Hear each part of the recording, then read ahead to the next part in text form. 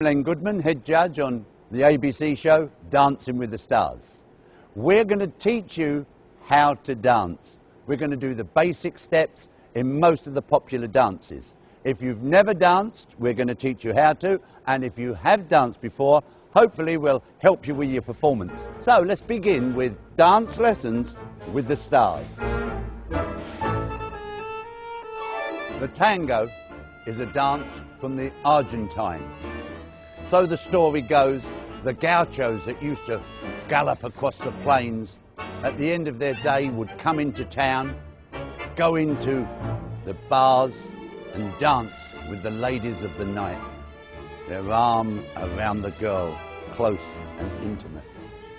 Around 1930, a guy called Henry Kemp was the first one that put the staccato, the sharp head moves that you see, into the dance. Everybody loved the way he performed the tango. Everyone copied it. It's full of fire, passion, drama. The tango. The tango, the passionate dance of the ballroom section. We have Tony and Elena with us. They're going to demonstrate the steps. Now, the hold for the tango is slightly different to the hold in any other ballroom dance. So let us look at that first of all. The left hand is in the right hand as normal. Here's where it changes. The gentleman's right hand comes slightly further around his partner, and the lady places her left hand underneath the gentleman's right arm.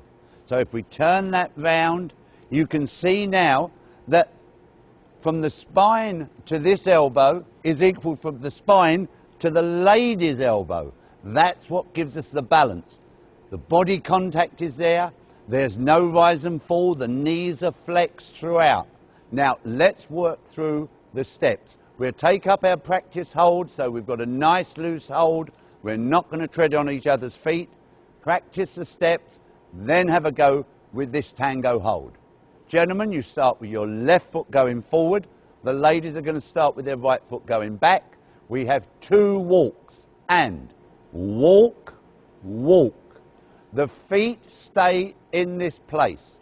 However, we're going to rock onto our left foot, men, then onto our right foot, and then back onto our left foot. Gentlemen, you step back on your right now, side on your left, and close. Now, you'll notice that when they close, your feet are not together. We would knock our knees if they were together. The right foot is slightly behind the left foot. And we're ready to start again. We start with the left foot for the guys, right foot for the girls. Walk, walk, rock, rock, rock, back, side, close. One of the keys to the tango is the staccato action, this sharp head turn. Watch carefully as Elena's head, which is to the left, suddenly on the rock moves to the right, and you see a totally different shape, and then back, your head turns to the left, girls. You watch out for that. Here we go. And slow, slow, quick, quick, change, and back we come. T a, N, G, O, and backside close. Let's have a go at that once more. This time, we're going to try it with the music. Tony and Elena are going to show you some extra steps, and you'll see how fiery, passionate, and how much drama you can get into the tango. Good luck with this dance.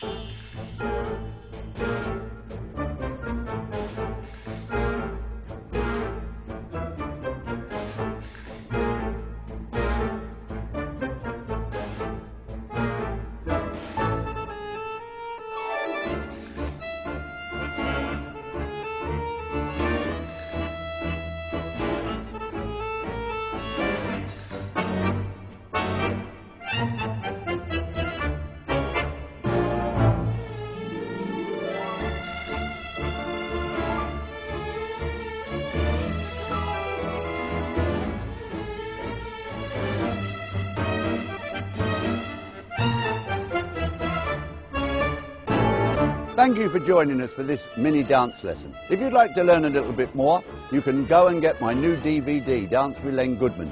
And make sure you watch ABC's Dancing with the Stars on this station.